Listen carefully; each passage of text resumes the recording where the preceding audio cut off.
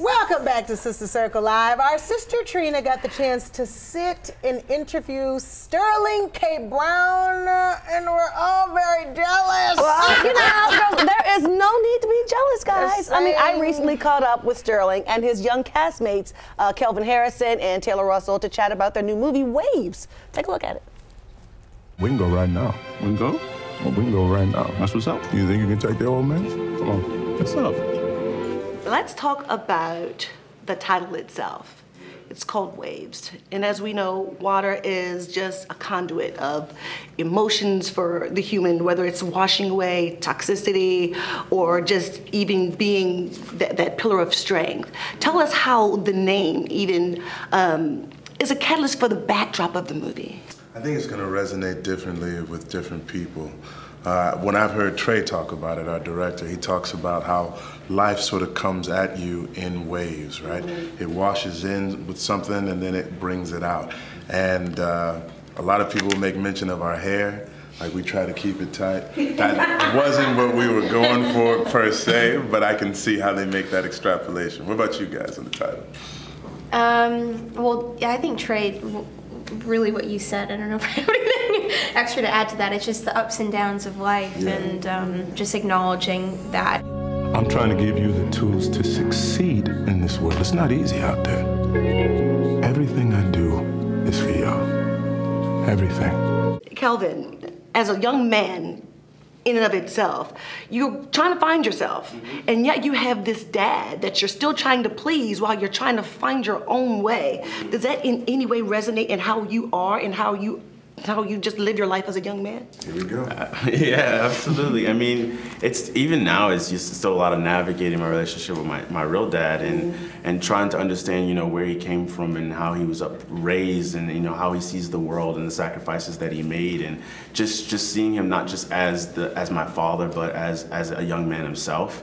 Even though he's, he's an older man, but he's still a young man, he would like to say. But you know, we, we, we share a lot of similarities. We're growing up, we're growing up black, and we're trying to survive and do the best for ourselves and, and make up for all the, the lost opportunities that you know we weren't given uh, originally. So, um, yeah, yeah, it's a lot of healing and growth. It's been hard, hasn't it? Let go of a prayer for you. How you doing with everything? I'm Good. Just a sweet word. You know it's okay if you're not. So Taylor, as you, as Emily, you know you look up to your brother, but yet you turn to Luke as a pillar of strength for yourself. But you, by yourself, you are this person with a quiet strength. Mm-hmm. So how do you draw from that personally? What I find really interesting in this girl is that in her quiet strength, I think she holds the place for a lot of men in her life. I think that she gives Luke a lot of strength, um, and her brother, and her dad, and um, and I think that that's indicative of a lot of women I know in my life who who aren't necessarily like at the forefront and saying I'm doing all these things, I'm really strong, and yet quietly they're they are doing all that stuff that we see. I mean, that's that's something that has is is historical for females. And um, and I love that you see that in in this movie. And I, I I think it's beautiful that you know she meets this boy and he brings her joy but she ultimately is impetus for healing for him. Um, and I you know there's a lot of things I think we all can draw on in our personal lives for these for these characters but definitely a lot of women that I look up to um, are, are quite similar to Emily, so I think I've, I've been lucky in that. Lord knows I've held on to way too much hate in my life. But all we have is now. Hey, Sterling, your role as uh, Robin in this movie, you have to kind of deal with um, your fragility and still having to have this innate sense of strength, not just for your children, but for yourself. And you are in real life a dad.